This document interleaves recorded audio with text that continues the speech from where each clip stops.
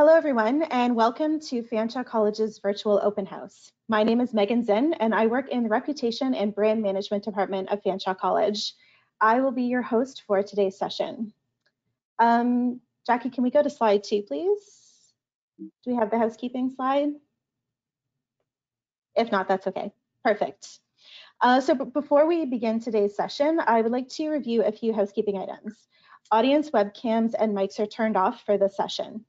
If you have any questions throughout the session, please submit it with the questions feature. To open the questions feature, click on the question mark. Following the session, we will have a live Q&A from the questions submitted. We will try our best to get through all of your submitted questions within the session time.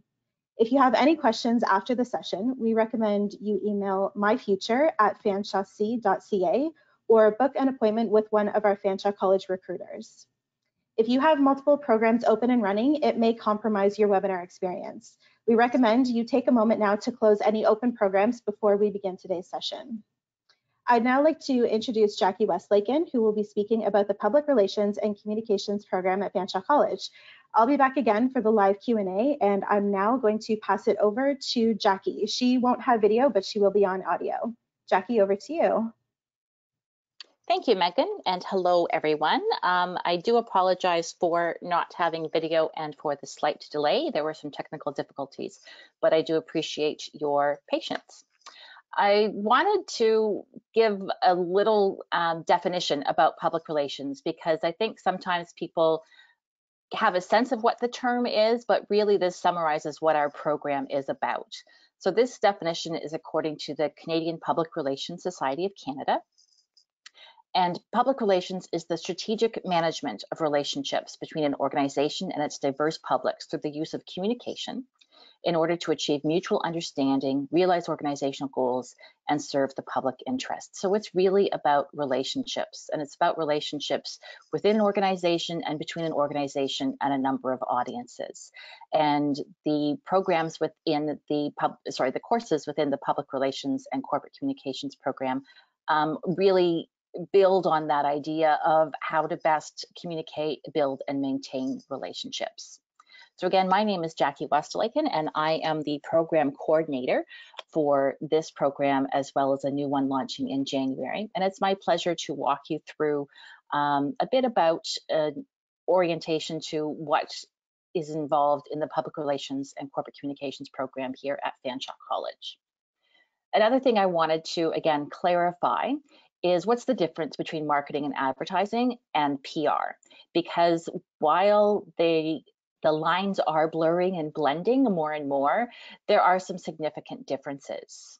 So marketing and advertising is about paid media. So you pay to buy ads. PR is about earned media. So building relationships with the media so that they cover the story that you're pitch pitching and that they're interested they you've built relationships with them so they come to you um, when they are writing articles about whatever your industry uh, may be involved in. Um, marketing and advertising is about a product or a line of products where pr is really about managing an organization's reputation and image while marketing advertising has customers and you're selling to those customers, we have public. So a variety of audiences that are stakeholders and interested in and affect the, the organization. And marketing and advertising you look at sales and return on investment and contribution to the bottom line. And public relations is again about relationship management and image management. And that's really um, some key distinguishing factors about uh, what sets the two apart. So what's involved in PR? So if you wanted to work in PR and corporate communications, what sorts of things would you look at? Well, internal and external communications are certainly very um, strong in that. I, I, alluded earlier to media relations, working on social media campaigns, or even just the day-to-day -day social media um, audience and customer engagement um, often falls to the PR and communications person.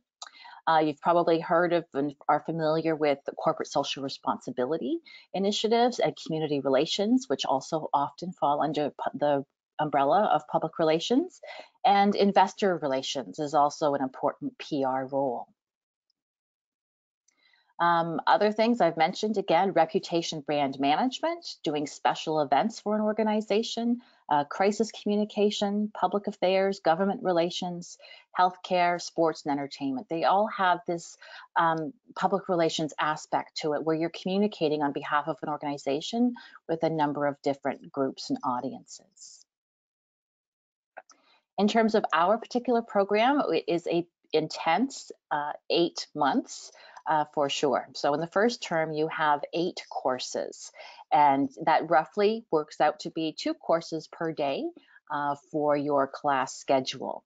And what I really like about our program and I'm proud of our program is the the variety that we offer um, not in terms of choice but in terms of areas of study so you don't have any electives unfortunately but you do have um, you'll see that we teach the overall, you know, strategic public relations, and there's a writing course. We have a course uh, to help you refine your presentation skills. Um, and then we have some more tech side um, courses in terms of design principle and digital in design principles, sorry, in digital media, where you're learning uh, Adobe Creative Suite. Uh, there's a course in professional practice and ethics, which gets uh, you sort of used to thinking and prepares you for your field placement in the second semester. And um, and then the next three courses, again, it's more that technical sides.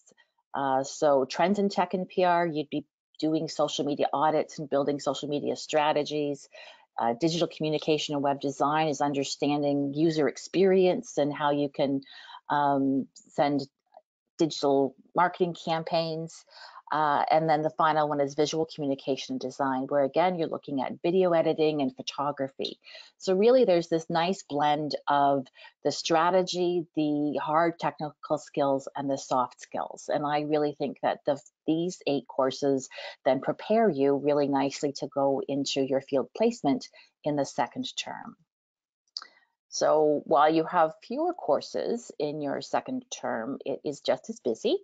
Um, so, and some of these you'll see they're courses with a two. So design principles two and writing for PR two, they're extensions of the first semester courses. So you're learning more about Adobe, um, Photoshop and InDesign, um, and you're, you know, looking at other um, types of writing projects that you would be doing in the field. Uh, integrated marketing communications is another course where we're again really looking at how marketing and PR work together and how it's important to have that integrated approach. Um, specializations in PR looks at all the different uh, not it's not an exhaustive list, but it is an extensive list of different specialties you can have in PR. So, for example, investor relations or fundraising and fund development, working in nonprofit, um, doing community relations. So we look at a new um, specialization each week and and learn about the, all of the different possibilities uh, that comes with working in public relations and communications. And then of course you have your field placement. So in the second semester, you have these courses, um, two on a Monday, to on a Tuesday, and then the writing for PR is always online, regardless of whether we're in COVID or not. Um, and then your field placement is Wednesdays, Thursdays, and Fridays.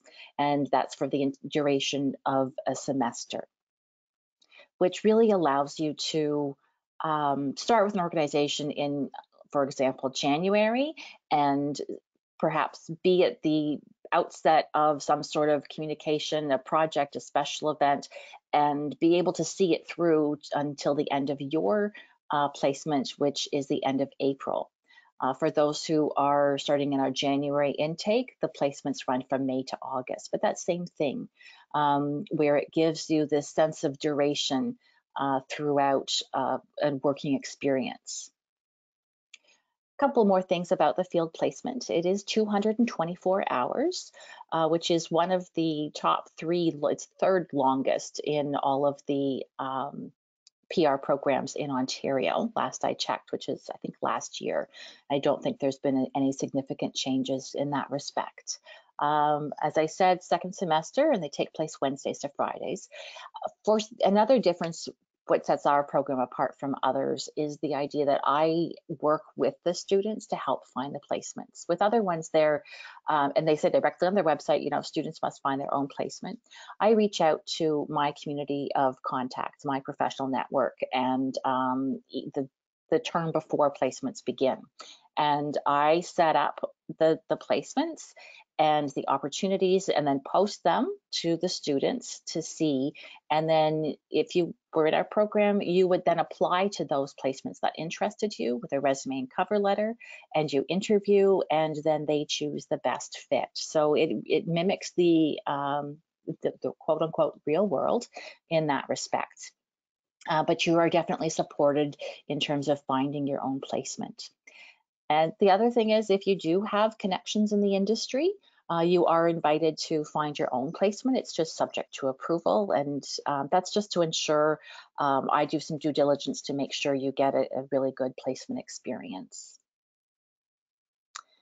What will it look like next term and in this summer? Well, it will. There, we are online still in January, and um, that's a combination of synchronous and asynchronous learning most of the courses do um, request students to be engaged in online and participating, but that's not to say that it's for three hours um, with the, the, normal duration of the course when it's in class. So we may check in for an hour, um, talk about something, and then have you go do something offline.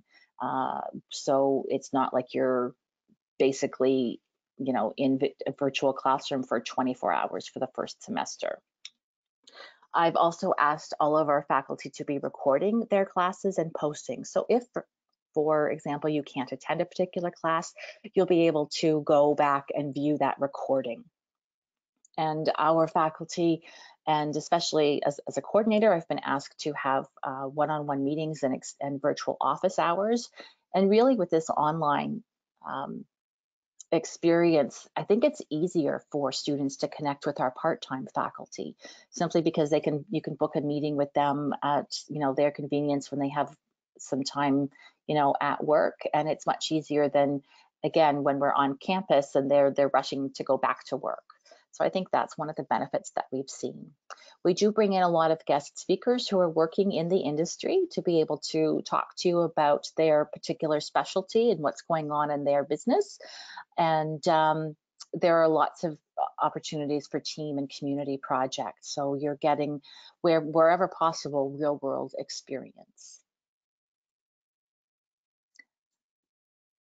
One of the things that you I'm sure are interested in is, well, where can I work? What kind of jobs? What kind of sector? And I just wanted to give, you know, an example this is, I know it's a very text heavy uh, slide here, um, but I want to call your attention to the bold. So we have grads who are working in education, they're working for digital agencies, nonprofits, major corporations across Canada. Uh, they work in arts and entertainment, healthcare, government, and uh, in sports.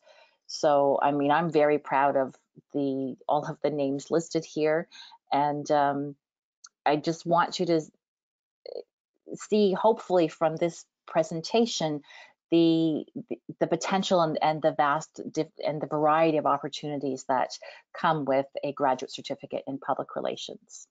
So here are a couple of our uh, grads, and this is just to give you a sense of their job title and where they're working. So again, London Hydro, Ivey Publishing at Western, Fanshawe College, um, and, and some of the jobs, the titles, the communications consultant, marketing officer, account manager.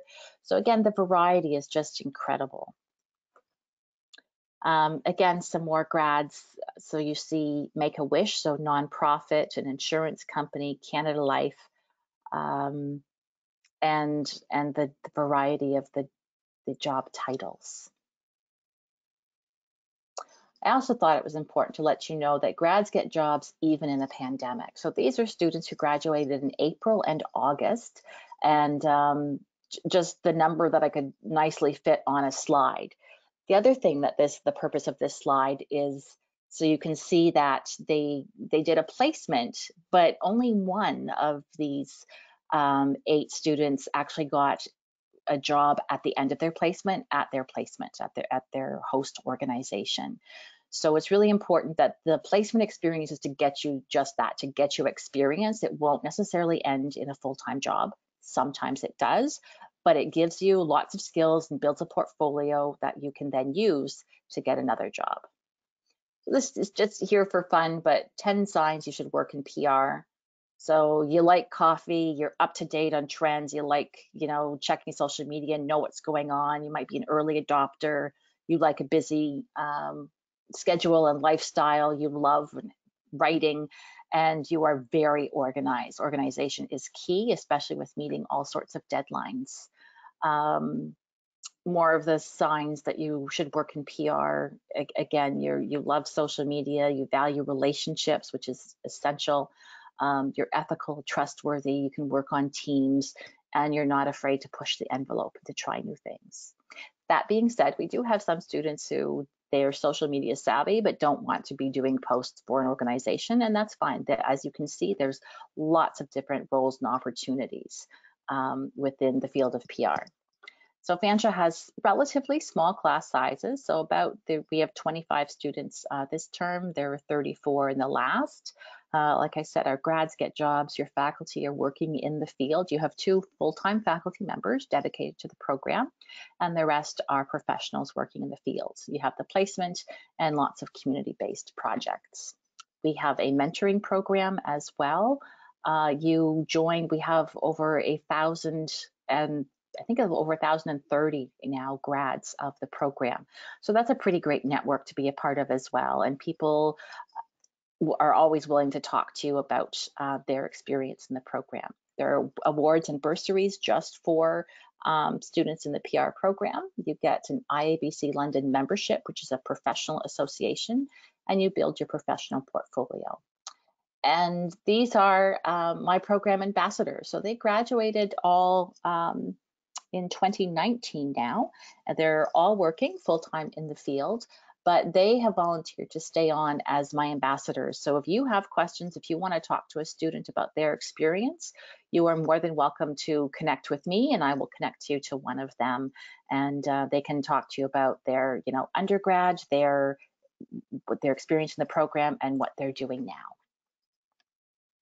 So, would like to invite you now to ask any questions of me and I'd be happy to answer them. That's great. Thank you so much, Jackie, for providing such insightful information on your program here at Fanshawe. So we're going to move to the live Q&A now. Uh, if you would like to ask a question, please submit it with the questions feature. To open the questions feature, click on the question mark. We do have some questions in the queue and we will do our best to uh, get through all of your submitted questions within the session time. But if you have any questions after the session, we recommend you email myfuture at fanshawec.ca or book an appointment with one of our Fanshawe College recruiters. So one of the questions that has come in is when does the program run and when should we apply by? We have two intakes for our program. So there is a September intake and a January intake. Um, I always say the earlier the better in terms of the application. Um, I do know that our January intake is still open and accepting um, applications. And of course, the for fall 2021 is open as well. Excellent. Um, so what is a typical schedule like for the week? Uh, because of the nature of our part-time faculty, and we, we do schedule around their availability because they're the subject matter experts, uh, we often have students, or sorry, classes and courses in the afternoons and evenings.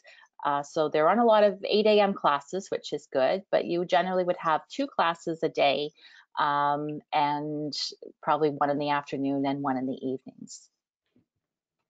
And that's for, so 24 hours a week and that's for our program runs 14 weeks each term. Excellent. Um, the next question what are the academic and professional requirements for the program? It's a great question so this is a graduate certificate program so you have to have an undergrad which is a two-year diploma or a three-year advanced diploma or university degree or um, life experience, work experience, which is a minimum of seven years. And then you have to apply and we have to review that. Uh, as far as undergrad in what, it really um, varies. We have students with communications backgrounds, we have students with political science backgrounds, um, we've had students with uh, actual science and environmental backgrounds, social justice and peace studies, um, English arts majors, psychology, sociology, political science.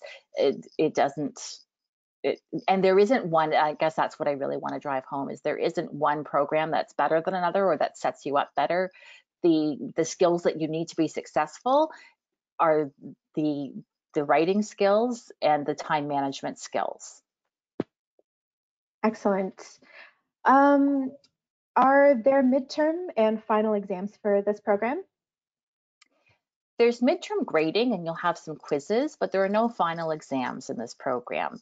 I the, my philosophy, and thankfully your profs have um, adapted this. I we have quizzes, uh, but the majority of the projects are things that you should be able to be. They're practical, hands-on, and demonstrate your knowledge and go into your por professional portfolio, so you can show employers what you've what you've studied, what you've accomplished. Perfect. Excellent. Um, we are coming close to the end of our time, so I think maybe I will just ask one more question of you, Jackie, that has come through. Uh, if anyone who's attending today wants to connect with you or the other coordinators, uh, what is the best way for them to do that? Absolutely. So here is my email address. It's also um, on Fanshawe's program website that you can connect with me. Uh, and I'm happy to answer questions. Uh, I do uh, answer questions for new grads on a weekly basis. So it's jwestlaken at fanshawec.ca. And I usually get back to you within 24 to 48 hours. Perfect. And um, people can contact you through your email if they want to connect with the program ambassadors as well? Absolutely. Yes, I will connect you with them then. You just have to let me know in the email. Perfect. That's great. Well, uh, so we have reached the end of our session. Thank you so much to all of our students who submitted questions. We hope that we answered all of your questions in regards to public relations and corporate communications.